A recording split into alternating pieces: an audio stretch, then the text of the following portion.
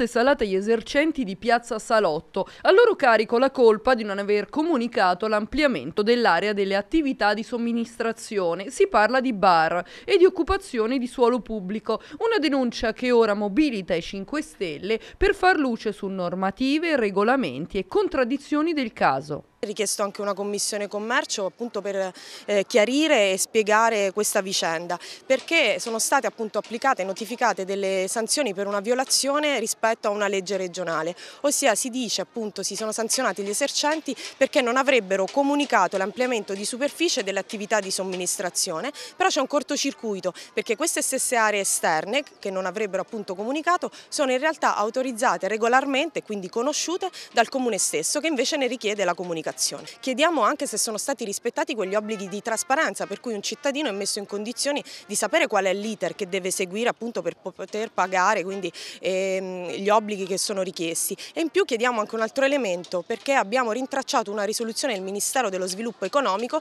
che invece quindi fa un'interpretazione totalmente diversa dal Comune e sostiene che le aree esterne non sono eh, riferibili a un ampliamento della superficie delle attività di somministrazione che riguarderebbe invece soltanto i locali, quindi la struttura nell'accezione del termine e quindi tali aree esterne non dovrebbero essere comunicate e quindi decade la base e la motivazione di queste sanzioni altissime di oltre migliaia di euro.